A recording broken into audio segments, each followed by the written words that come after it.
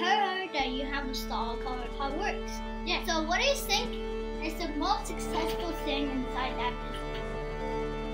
We were the first ever people to get sold out, and we earned money very fast. Uh huh. Okay. And uh, is there anything that you want to like improve on next time?